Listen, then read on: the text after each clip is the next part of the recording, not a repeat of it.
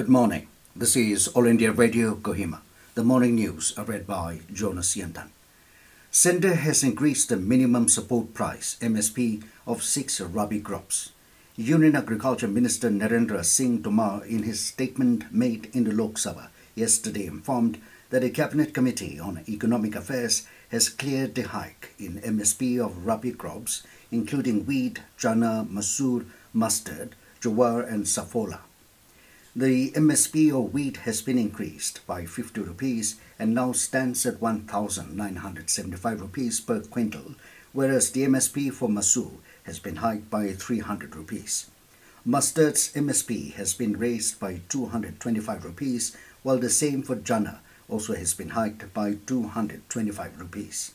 Increase in Jowar's MSP is by 75 rupees, while the same for Safflower has been hiked by 112 rupees per quintal. Tomar informed that the government has sanctioned nearly 7 lakh crore rupees to the farmers for the government procurements in the last six years, which is almost double the amount that was sanctioned from 2009 to 2014 in the UPA government's tenure. The minister said the hike in MSP reflects the government's commitment to guarantee MSP and government procurement in the country. He reiterated that the recently passed farm bills in the parliament do not impact MSP or provisions of APMC Act in any way. Tomar also appealed to the farmers not to fall prey to the false or misleading political tactics of the opposition parties. Nagaland has conducted 74,423 sample tests for COVID-19 so far. State Health and Family Welfare Department said 46,554 samples were tested through RT-PCR, 26,565 through Truenat, and 1,304 through rapid antigen test.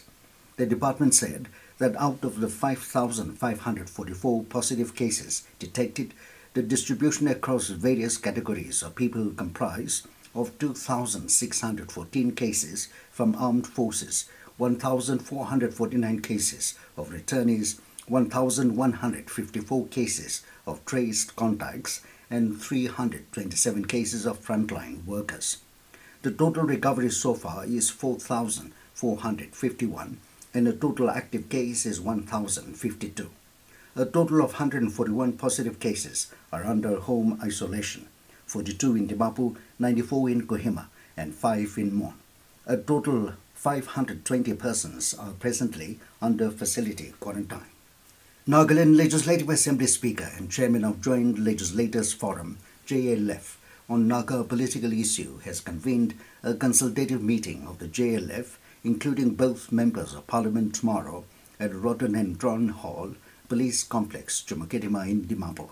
Commissioner and Secretary Dr. B.J. Anthony in a press release said the consultative meeting has been convened on the indication of the Working Committee of Naga National Political Groups. Anthony said all JLF members have been requested to attend the meeting positively. Parliament gave its note to the Foreign Contribution Regulation Amendment Bill 2020 with the Lok Sabha passing it by voice vote yesterday.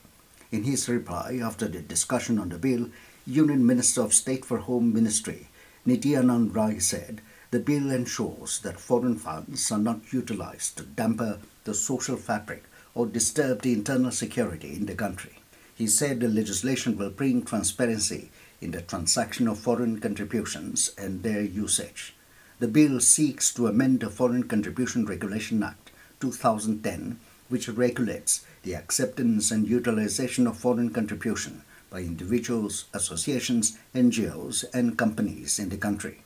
The bill adds public servants among the list of entities prohibited to accept any foreign contribution, which already includes election candidates, editor or publisher of a newspaper, judges, government servants, members of any legislature, and political parties, among others. Sakhi One Stop Center and District Administration Peren organized an awareness program on child sexual abuse and personality development at Servanthood Ministry Children Home Perendang. The program on activity based learning with a theme towards a new way of growing and healing. OSC Nodal Officer and EAC Peren Anne Kea, encouraged and motivated the children to find the passion and embrace the skills and talents they have and focus in their study as well. With that, we come to the end of the morning news. Have a nice day.